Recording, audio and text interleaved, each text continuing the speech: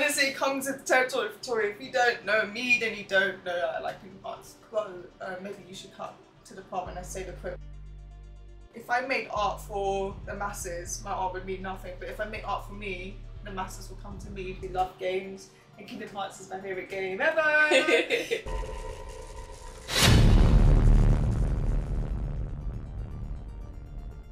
Hello everyone, my name is Creatively Anzi and I'm the founder of Melanin Gamers, a gaming community that promotes inclusion and diversity. And welcome to MG Spotlight Pieces. We created MG Spotlight Pieces to showcase and highlight content creators from different walks of life. Today we are with Kingdom Hearts Stand and our most creative illustrator, Aliyah Art. Oh, hi guys, hi everybody. Hi, Anzi. Thank you for having me. Of course, of course. Please introduce the audience to who you are and what you Yeah. So my name is Aliyah Arts. I draw and design, illustrate. I have a background in animation, but I don't do that anymore. But I have made games, so I do obviously love games. And Kingdom Hearts is my favorite game ever.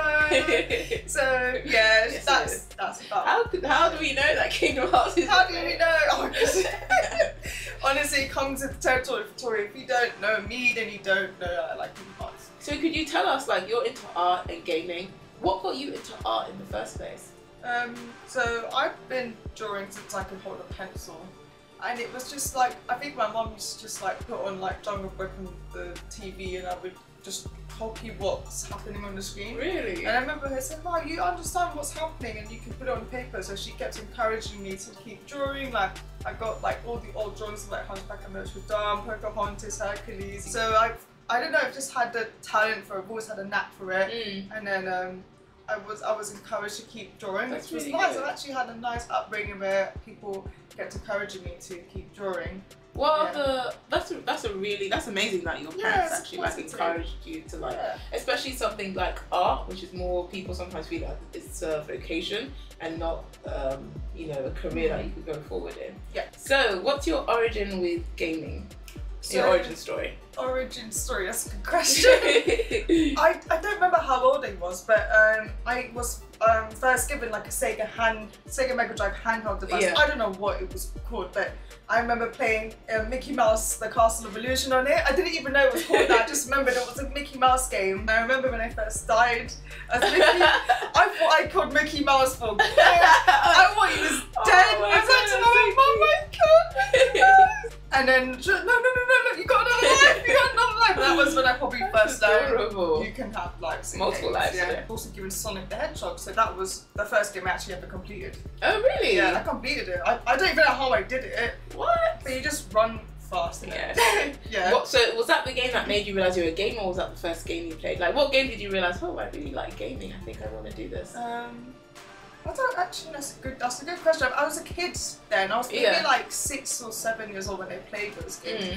But um, I, I remember, I think maybe I started playing PlayStation 1 with my friends, and then I realised I was good at the games, I was beating everyone at the games, even the person who owned the console Yeah. them at. And I'm like, oh, you're really good. It's like, I guess maybe that's when I was like, yeah, maybe I'm good at games. Yeah. and I, I'm a gamer. Yeah, so I Oh, started playing okay. Crash Team Racing, and then um, games like, oh, I don't know if you guys know what Croc 2 is. That is a really. Croc? yeah. I know Croc. I, I've Oh never actually met anybody else outside of my siblings that know Croc. I know, that, I love that game. I That love it. I think I still have it. I do too. I still have my original Croc on PlayStation. And Rayman was I like playing Mm, all of the Rayman games, I love the Rayman hundred games. percent. And then um, my friend had to say the Sega Mega Drive. He'd always invite me over to his house because I can't complete this game without you. So it was, it was Sonic Two and Streets of Rage, and then Streets of Rage Two came out. Yeah. So yeah, I, it's because I had a lot of friends who had game consoles. They were like, I need you to play this game with me so we complete it. So in terms of your streaming like journey, what got you into streaming in the first place? Um, so it was around like, about three or four years ago. Um, I had I used to work with Nintendo at events. Oh wow. And um, yeah, so it was just it was already a gaming community, and then Yeah. um, you were like, why don't you stream? And I was just like, why? like I never really was like, I can't figure this was this is hard to figure Yeah. out. I don't know what to do. Then at one point, I just was like, this was the end of 2019. I was like, okay, let me actually get my head down and get in gear, see Yeah. what I can do. Yeah, so I just started streaming because um, I thought let me do the art thing first. It seems a bit easier. I don't have an Elgato yet, Mm. and I thought that's what you need to stream games. But little did I know later on down the line, you, there's so many other menus you can Yeah. use. You don't have to have an Elgato to stream. So um, I was like, let me actually see how this goes. If I like it, Yeah. if it's too much trouble. I'm using a Mac as well. I'm not even using a PC. Oh wow, that must And definitely. it's popular. Like everyone likes the drawing, the chill bees. It's just, just what I do in my own time anyway. You're just seeing me in my own time. Yeah. But otherwise, I get to chat with people live. It's just really awesome. I get to have really great conversations Mm.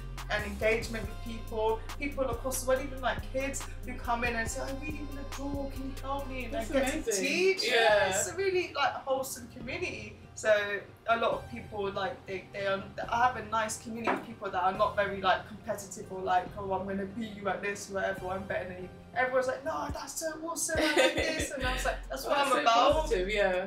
I Yeah, exactly. But in terms of being an artist and being on, because you show a lot, showcase a lot of your art online and stuff like that. Mm. How does how was that sort of process for you? Um, so I initially just did it because I wanted to get recognition, and to me, getting recognition is to basically well, you utilize your platforms Yeah. online. And then I had Tumblr. I used I used to post my stuff on Oh, Tumblr. yeah. Oh my god! Tumblr. And DeviantArt as well. So I was on all those platforms, and I was like trying to get better. And Compare, not compare, but like looking at other eyes and then be like, how did they achieve this? And Mm. working it out as I go. And I studied it to degree level. And um, then after uni, started taking my own kind of path of just drawing and discovering what my style is. Yeah. And then kind of like accepting that maybe I don't really have a style. But then in doing that, I then found one because I just kept drawing and drawing until I was just trying to figure it out. It's kind of like a challenge, but also like trying to solve a puzzle. Yeah.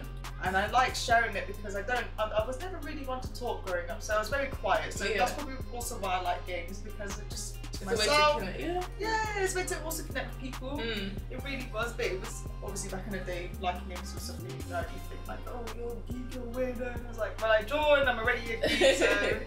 oh, you might as well go the full way. Let's go full out, yeah, completely just nerd.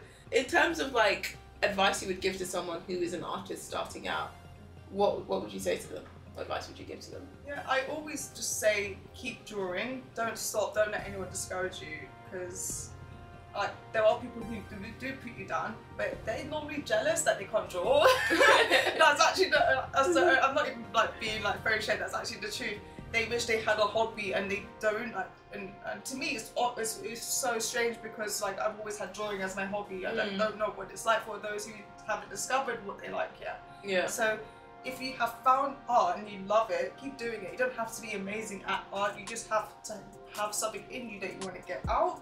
And whether that's collaging, drawing, or painting, or like anything. To be doing art, you shouldn't be doing it with any ulterior motive, like thinking you're gonna make money. Because of course I want to make money, but like that's not the main reason. Yeah. The first reason Yeah. should be your passion and your enjoyment. So in terms of your content creator side, gaming side, someone trying to get into content creation, like being a streamer, stuff like that, what advice would you offer to them? So um, be authentic with your content and don't like follow trends. Just do what you whatever you want to do. I used to follow trends, and then to the point it was like, what was that quote? Uh, maybe you should cut to the part when I say the quote. If I made art for the masses, my art would mean nothing. But if I make art for me, the masses will come to me. The ones who actually nice connect with me. Yeah. So that's same with gaming. Like everyone has a different kind of Yeah. genre they'd like to play. Kingdom Hearts, Zelda, and then Mario games. Just Well, I was actually that was my next question. What Yeah. are your top five games? oh, I think you just named them. oh my god! I do have, I do know what my top five is off the top of my head. So Kingdom Hearts two. Um, oh, I don't know what order. Okay, Kingdom Hearts two, Persona five, Wind Waker, um, Kingdom Hearts one, and then the fourth one, Twilight Princess Zelda. What game to play? Um, Okay, so if it's a desert island, it's games with repairability. Not really it doesn't have to. If I read something, why would I? Why is it? I'm on a desert island. I'm not on a desert island for Thanksgiving.